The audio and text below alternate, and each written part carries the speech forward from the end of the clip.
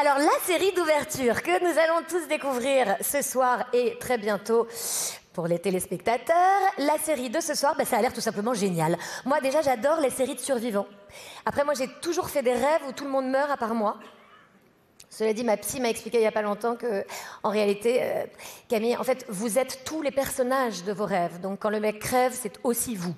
Ah, d'accord. Bon. Mais en tout cas, Silo, ça raconte comment tout ce qui reste de l'humanité va se retrouver enfermé dans un bunker géant. L'angoisse Enfin, en même temps, ça dépend avec qui t'es enfermé dans le bunker. Moi, personnellement, vous m'enfermez avec Pedro Pascal, je suis complètement OK.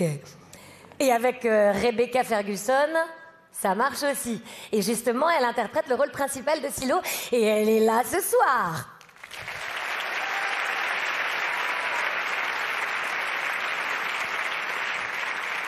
Silo, que d'ailleurs, vous pourrez découvrir dès le mois de mai, donc, hein, sur Apple et MyCanal, si vous voyez ce que je veux dire. Hein, bah, vous regarderez sur Google ce soir, vous comprendrez de quoi je parle.